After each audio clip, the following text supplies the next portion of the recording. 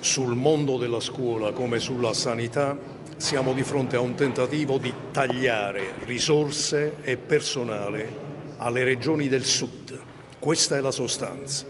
Dobbiamo sapere che il tentativo di riforma cosiddetta della scuola proposto dal governo Meloni significa per il sud tagliare classi, tagliare personale docente, tagliare personale non docente. La posizione della Regione Campania è che non solo non intendiamo accettare nessuna riduzione né di classi né di scuole né di personale, ma riteniamo che si debbano dare ancora più risorse per la scuola del Sud, per valorizzare il corpo docente, per contrastare la dispersione scolastica, per fare in modo che le nuove generazioni possano essere educate, perché se crolla anche il mondo della scuola faremo fatica davvero ad avere rapporti con le giovani generazioni. C'è un pericolo gravissimo per la scuola come per la sanità. Non si parla più in Italia di scuola pubblica e di sanità pubblica.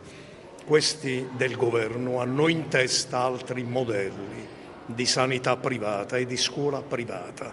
La scuola pubblica è essenziale per garantire il livello di civiltà e di unità nazionale nel nostro Paese. Dunque combatteremo fino alla fine contro questa ipotesi di modifica proposta dal Ministro Valditara. Intanto la Regione Campania combatte su questa linea, neanche una scuola in meno, neanche una classe in meno, neanche un docente in meno, neanche un euro in meno per il Sud.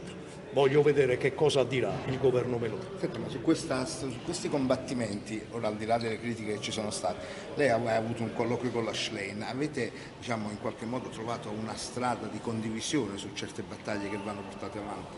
No. Nessuna strada di condivisione su nessuna sua opinione? Dobbiamo ancora cominciare il lavoro, Eh, ma io mica devo condividere, io non devo condividere con nessuno. Noi facciamo la nostra battaglia, sono gli altri che si devono adeguare a quello che fa la Campania. È chiaro?